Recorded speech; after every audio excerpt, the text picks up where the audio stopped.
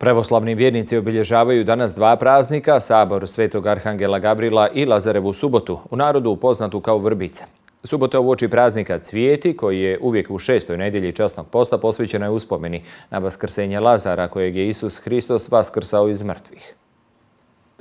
Lazareva subota praznuje se kao poseban, vrlo živopisan događaj poznati pod imenom Vrbica. Njegov istinski smisao nadilazi sve običaje, jer praznik nagovještava pobjedu Hrista nad smrću. Vrbica je dan dječje radosti, ali i onih starijih.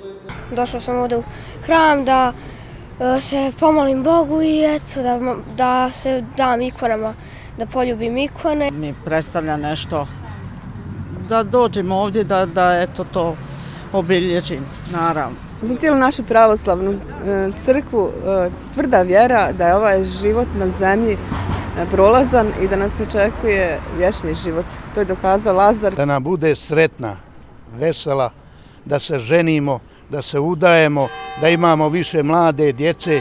Lazareva subota se obilježava posljednje nedelje časnog posta. Običaj nalažu da se u pravoslavne hramove unose vrbove grane koje ostaju do nedeljne liturgije na cvijeti. Grančice vrbe simbolizuju palmine grane kojima Isus Hristos dočekan u Jerusalimu, a otud i potiče sam naziv vrbica. Smisao običaja za ove praznike je upravo taj da dočaramo tu atmosferu. Mi nemamo masline grančice, ali imamo zato vrbojeve grančice, pa se to zove vrbica.